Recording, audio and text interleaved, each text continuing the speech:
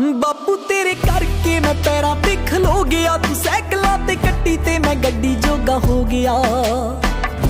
ਬਾਪੂ, ਤੇਰੇ ਕਰਕੇ ਮੈਂ ਪੈਰਾਂ ਤੇ ਖਲੋ ਗਿਆ।